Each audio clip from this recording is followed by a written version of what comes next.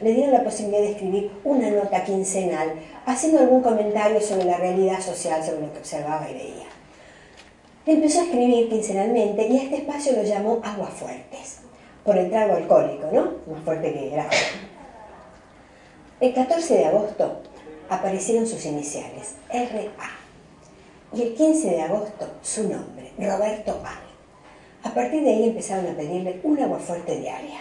Y así fue como empezó a escribir un agua fuerte diaria hasta el final de sus días. Es una vida realmente apasionante, su obra es magnífica, ¿no? Tanto en lo que hace a las novelas, los cuentos, sus aguafuertes, las obras de teatro, toda la obra de, de Arles en nuestra literatura es un hito. Era un periodista que decía lo que, lo que veía, era de una objetividad enorme, de una sensibilidad muy grande, el lector se sentía eh, que encontraba un, interlocutor confiable en él, ¿no? De modo que era un momento, obviamente, él escribió a partir del año del 1928 al 1942, todos los días escribió un agua fuerte, pintaba la ciudad, pintaba la época, pintaba lo que veía, absolutamente todo, ¿no? Su vida en sí misma es una verdadera historia de ficción, es una vida apasionante, conocer la vida de él y que tomen también noticia de un poco del contexto histórico de la obra y la trascendencia de su obra.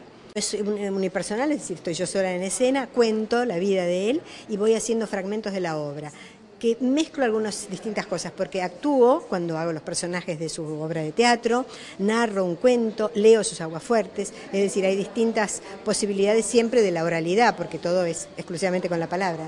La obra está dentro del marco de la exposición que se hace en el Museo del Libro y la Palabra sobre Roberto Ar, precisamente, que es una, una multimedia exposición interesantísima. Dentro de este marco vengo haciéndola, el viernes próximo es la última función a las 5 de la tarde.